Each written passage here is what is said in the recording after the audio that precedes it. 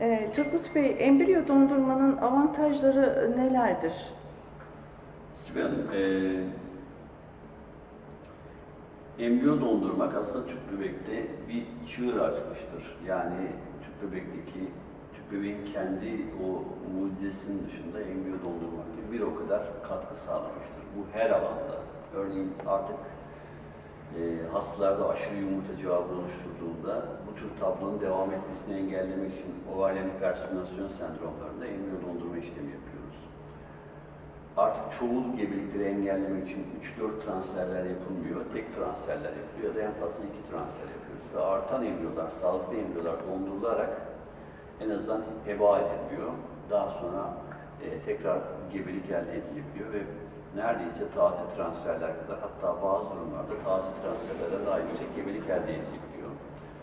Bunun dışında e, hastada beklenmeyen bir durum geliştiğinde bir B planı olarak embriyo dondurulabilir ve daha sonra transfer edilebilir.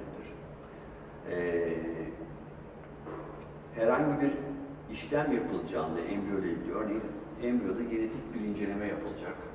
Ee, DNA'sına bakılacak. Bu tekken hastalıkları olabilir gibi ya da yapısal hastalıklar olabilir embriyo ile ilgili. Bunlar araştırılacağında yine dondurulup embriyolar üzerindeki o alınan parçalarda inceleme yapılıp daha sonra transfer yapılabilir.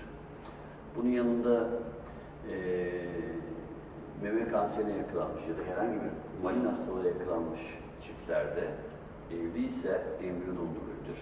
Bekarsa aynı şekilde embriyo dondurmak kadar yumurta, yumurta dondurma işlemleri de çok başarılı bir şekilde yapılmakta.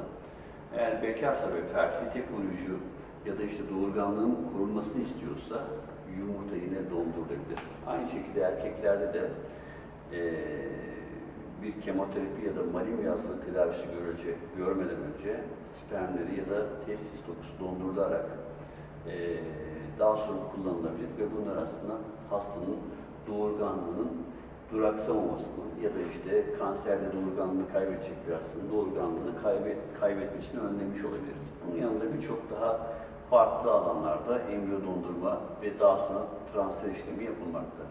Peki, çok teşekkür ediyorum.